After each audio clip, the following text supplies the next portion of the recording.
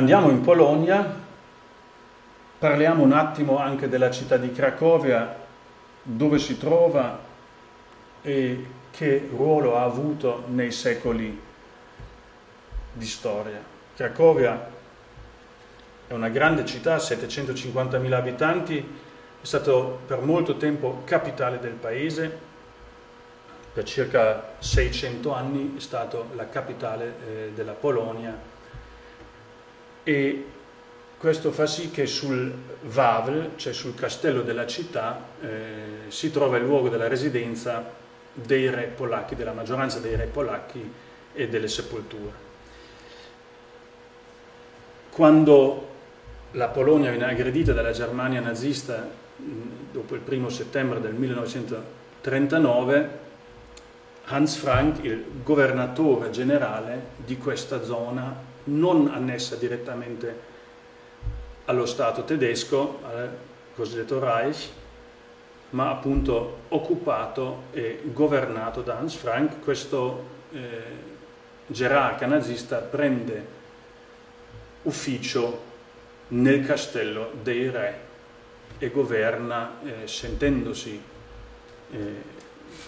legittimato di utilizzare questi luoghi simbolicamente molto importante per i polacchi, ma evidentemente anche per i nazisti, come luogo del suo governatorato generale. Quindi la, la città di Cracovia ha una storia, forse si può dire multiculturale, ha una parte di storia tedesca, ha una parte chiaramente grossa di storia polacca, cattolica, ha una storia importantissima anche come città degli polacchi ebrei, quindi per l'ebraismo europeo è una città molto importante. Era uno dei quartieri che andrete anche a visitare, eh, Casimirs, uno dei eh, quartieri più mh, vissuti da tutti i punti di vista delle infrastrutture della comunità ebraica, con decine di migliaia di ebrei residenti in questo quartiere di Cracovia, eh, con tutte le strutture di, quasi di un comune autonomo, eh, dalle scuole agli ospedali, chiaramente alle sinagoghe e a tutte le associazioni e a tutti i servizi sociali. Importante tenere presente che questo è un quartiere dove per secoli abitavano liberamente Dall'altra parte del fiume, dall'altra parte della Vistola, visiterete invece un luogo che non è un quartiere ebraico, non è un luogo ebraico o della cultura ebraica, è un luogo della non cultura nazista, è un luogo della persecuzione degli ebrei. È il ghetto nel quartiere di Podgusa su questa foto vedete ancora una parte della recinzione che i nazisti hanno fatto a questa zona, dove relativamente tardi, nel 1941, quindi due anni dopo l'aggressione, o un anno e mezzo, perché è primavera 41 dopo l'aggressione alla Polonia, costringono tutti gli ebrei di Cracovia, circa 15.000,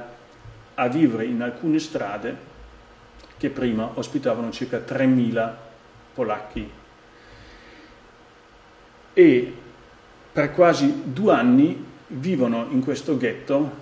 da non confondere col quartiere ebraico, in modo mostruoso, vivono per modo di dire, chiaramente subiscono la fame, il freddo, la violenza, fucilazioni, deportazioni, vivono, fra virgolette, gli ebrei di Cracovia in questo ghetto. Di questo ghetto ci sono poche tracce, alcune andrete eh, a visitare. A proposito delle scelte, delle cose che succedono e che poteva sempre andare anche diversamente, va sempre ricordato anche nelle, nei momenti più difficili eh, anche nella storia per esempio del ghetto di Varsavia è molto famoso, ma anche nel ghetto di Cracovia abbiamo l'organizzazione di combattimento eh, ebraica, eh, organizzazione ebraica di combattimento e anche qui abbiamo nomi, cognomi, volti di persone che hanno fatto la scelta di non obbedire, di non farsi portare via, di non stare nel ghetto, facevano la cosa più incredibile per gli ufficiali nazisti. Questi partigiani ebrei uscivano da, armati dal ghetto e colpivano i nazisti in mezzo all'altra città. Non solo volevano difendere, fra virgolette, il ghetto, ma uscivano e mettevano in atto azioni eh, partigiane negli altri quartieri e anche in centro storico di Cracovia. Quindi importante per non deprimersi troppo in mezzo alla storia nazista e alla storia della Shoah, vedere che ci sono sempre stati uomini e donne che hanno combattuto, che hanno difeso la dignità di noi tutti. E la storia di Gusta e Simone è una storia molto Simpson e Gusta è conosciuta, potete trovare anche la loro storia in internet, eh, anche se in generale la storia della resistenza ebraica è una storia spesso non nominata, nascosta, quasi per dare una parte della colpa agli ebrei stessi alle vittime stesse della Shoah la colpa di non aver combattuto. In realtà hanno combattuto tanti di loro. Un altro luogo a Cracovia che voi conoscete già perché avete visto tutti Schindler's List e qua bisogna stare attenti, bisogna andare piano, bisogna sistemare bene l'immagine che avete in testa perché in Schindler's List si vede Casimirs, in Schindler's List si vede Podgosa, anche se lui per motivi di seta ha un po' mescolato le carte, cosa che noi se vogliamo andare a studiare, non andare al cinema ma studiare in loco, rende un po' più difficile eh, lo studio. E anche il campo, che tutti avete presente, le scene del comandante che dal balcone per divertimento suo spara ai deportati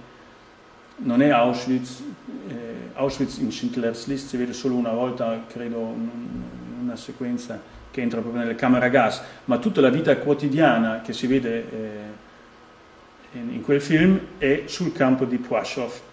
dove eh, era appunto il comandante eh, Amon Goeth. Vedete a sinistra una foto originale, lui che si sta riposando fucile in mano sul suo balcone e la casa dieci anni fa, circa, non mi ricordo bene, che ho potuto visitarlo, eh, non ho acquistato la casa, purtroppo qualcun altro l'ha acquistato, non è luogo di memoria il campo di Płaszów e questa è la casa di Goethe e qualche ricco si sta aggiustando la propria villetta e sta distruggendo le tracce della casa del comandante. Questo, eh, anche questo accade purtroppo in Polonia, dove negli ultimi anni hanno aperto vari nuovi musei meravigliosi sulla storia delle volte molto nazionalista, molto militarista polacca, per esempio i musei per i partigiani cattolici, ma anche musei meravigliosi sulla storia come a Varsavia degli ebrei sulla cultura ebraica, eh, nuovo museo aperto pochi anni fa sui giusti polacchi, insomma ci sono tutta una serie, stessa, la stessa fabbrica di Schindler è diventata museo negli ultimi anni, eh, adesso la devono chiudere perché ci sono troppo visite e devono ripensare come organizzare il museo perché hanno il triplo delle visite eh, previste, aspettate, quindi in Polonia si aprono un sacco di musei nuovi, ma in mezzo ci sono ancora purtroppo anche luoghi molto importanti completamente dimenticati come Płaszów.